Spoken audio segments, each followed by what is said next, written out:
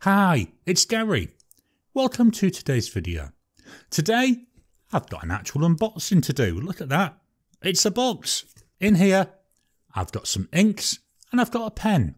So what I'm going to do is I'm going to split it over two videos just so everything gets the proper amount of time that it needs without making the video too long. In today's video, we're going to take a look at the inks. They're by Diamine and they're from the Inkvent calendar of 2019. Really looking forward to playing with these ones. Then next time, we'll unbox the pen. So join me now down on the mat. We'll take a look at the inks. I'll go away and swatch them. Then we'll look at the swatches. I'll do an ink sample on some Tomoe River paper and give you my thoughts on these inks.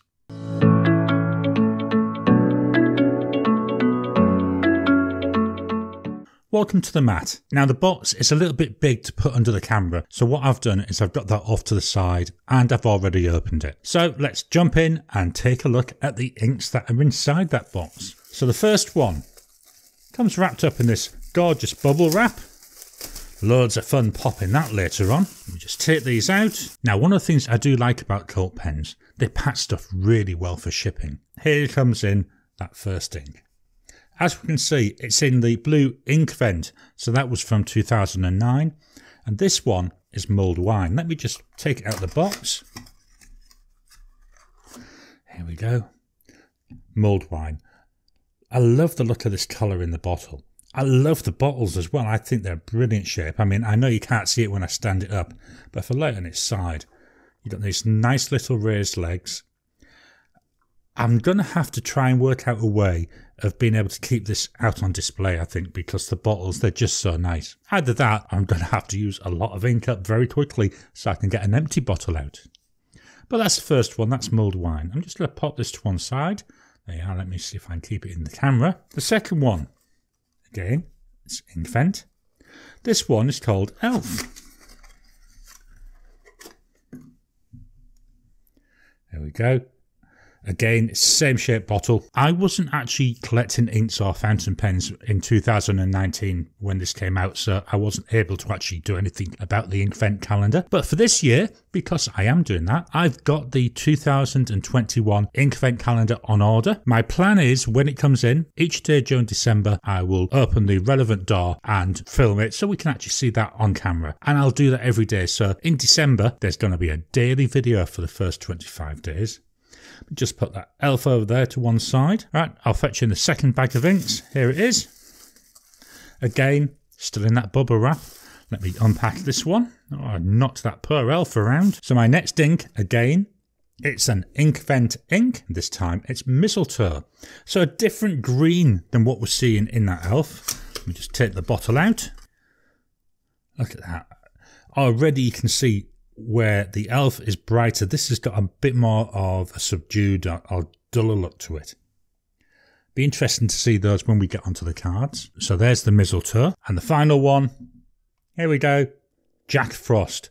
This is the one that I'm excited to see. This is the whole reason, to be honest, that I bought these because I've seen other reviewers with this ink and I thought, wow, that looks nice. So when my wife said it's time to start planning your inks for Christmas, I thought, well, I've got to get one of these. Now, the top of the neck's a little bit sticky, and inside the box, I do notice there's been a little bit of an ink leak. Not very much, but I'll have to give that a good clean up. I mean, I've already got the ink on my fingers. But anyway, this is Jack Frost. I'm not going to leave this one laid down for too long because if it's like what's in the box, I don't want ink all over my mat. Jack Frost looks really nice though. It's a blue ink, but with a really deep red sheen to it. So I'm looking forward to having a look at that one as well.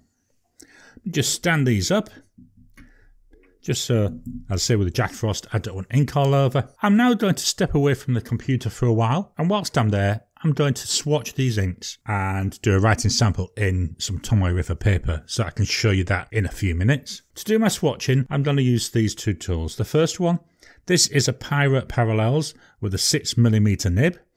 So all I'm going to be doing with this is dipping it in the ink and then using that to draw the blots of colour on my swatch cards. I'm also going to use this this is a Serendipity pen. It's got a broad nib on it and I'll use that for doing my writing sample and also for writing the names of the inks on the card. Just thought I'd share that with you just so you know what I've used when I come back. I'll be back in a few minutes, but for you, it's just going to be a slide on the screen. So here I am back.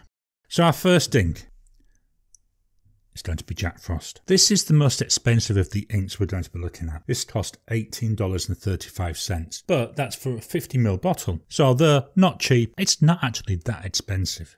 Fetching the swatch card, as we can see here, it's a lovely blue colour for the base.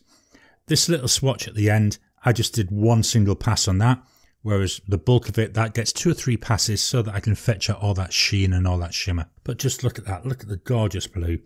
Then the sheen, now I'm going to say it's red, it's a red sheen, but it looks purple to my eye. When you're sat on top of blue, red and blue will give you a roughly purple colour. I think it looks really. I mean, I don't know how well it comes over in the camera, but it even looks pink at the moment. Such a nice shiny colour there. Really looking forward to getting this one into a pen. I'm just going to fetch in some of my other swatches so we can have a comparison. Strangely enough, all the comparisons we're going to look at with this one, they're all actually Diamine inks. The first one is Cult Pens Little Chris. So although it's called Cult Pens, it's actually made by Diamine. And that's really showing up that sheen on there. This is another one, it's really nice. But it's a darker blue. It's like a blue-black for the background. The other comparison I'm going to fetch in again is Cult Pens, and this is Little Mer. Now, to me, the background on this is moving more towards the purple end of blue, but again, we've got that gorgeous sheen, which really does mimic what I see in Jack Frost. Let me see if I can get them to both move at the same time. You know, it looks like that shimmer, that sheen. It looks like that's very similar colour. But this is the Diamine Jack Frost. Ink number two is Elf. Very Christmassy name, isn't it, Elf? Here's the swatch card coming in. So this to me is a nice deep dark green colour. In my mind's eye, I see the elf colour, which is what you think about the clothes that elves wear when you see them on TV, as not being as deep or dark. But that's fine. I can understand where they're coming from with the name. And actually, when you see the writing, it is slightly lighter than what I see on this swatch.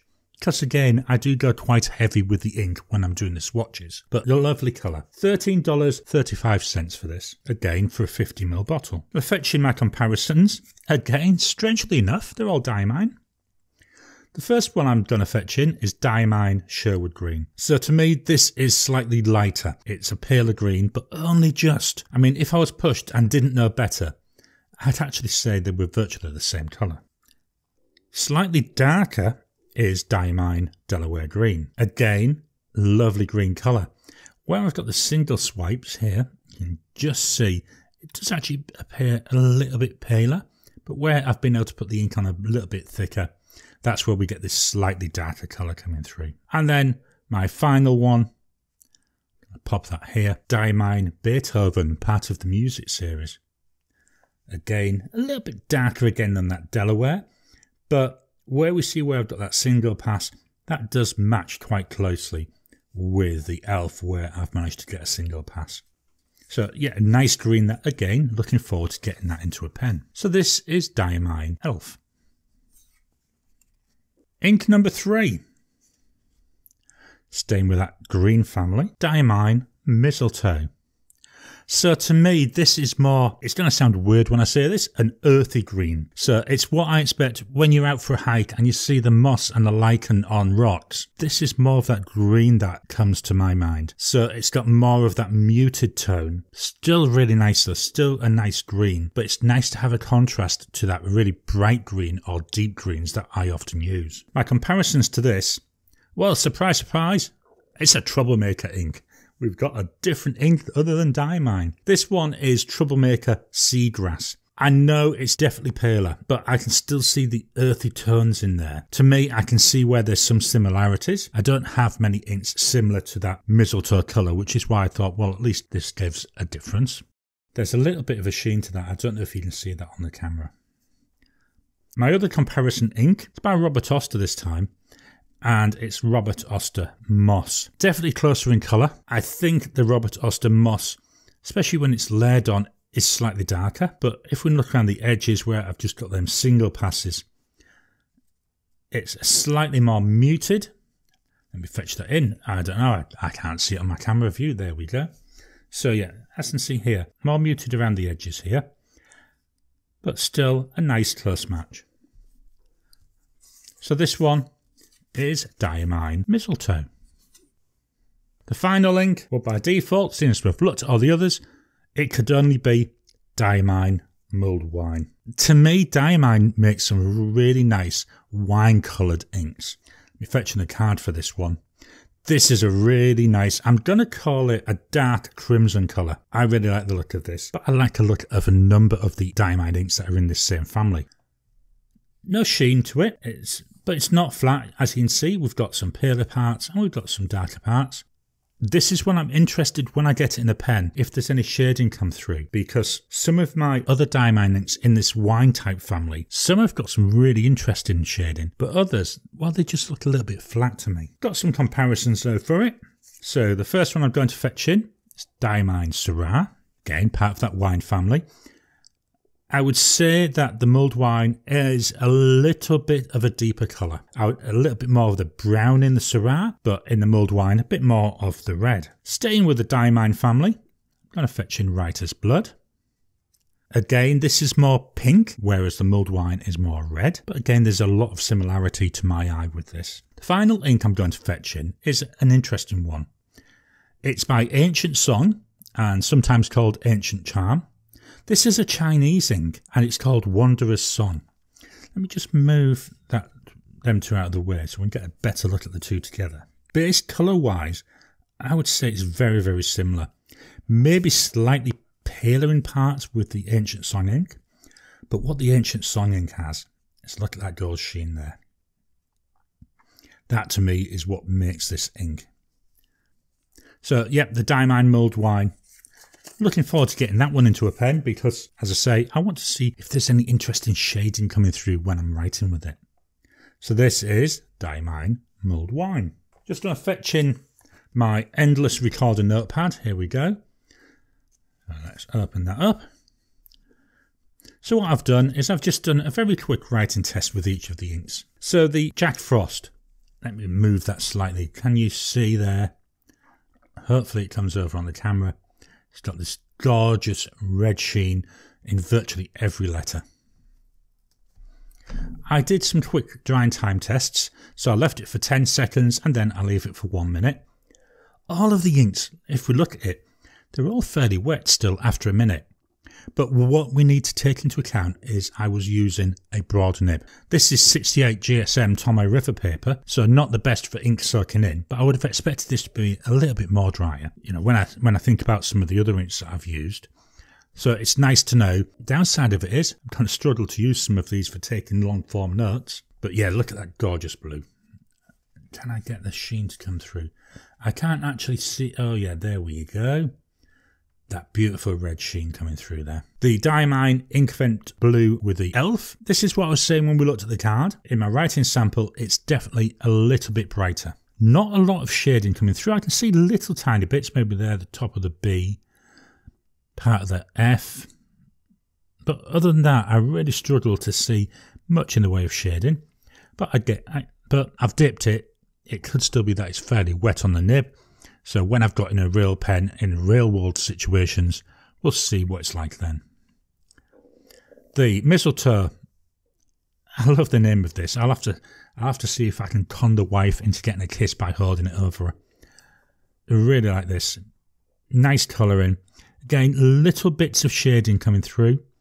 Not that much, but again, could be the same reason as I'm seeing with the elf. Then finally, the mulled wine. This on paper, when I'm looking at it, it looks a little bit more pink to me than when I had it on the swatch card. But again, I can see shading coming through. Look at the on the E there, the E there, the D. First few words, first couple of words are fairly dark, but again, I'd just dip to the pen, so it could be that it was still fairly wet. Like with the other ones, not a quick drying ink. So I'm just going to fetch all the swatch cards back in. So we've got Jack Frost, a Trixie Elf, that romantic mistletoe, and the gorgeous mulled wine. I hope you've enjoyed today's video. Have you got any of these inks? What are your thoughts on them? Are there any other inks from that 2019 Inkvent calendar that you think it might be worth me looking at? Please drop a comment down below. Let's kickstart the conversation. Please hit the thumbs up button. Every time you like, every time you comment, well, it just helps with the YouTube algorithm. If you haven't already, please subscribe to my channel so that you can get new videos as I release them. I'll talk to you again soon.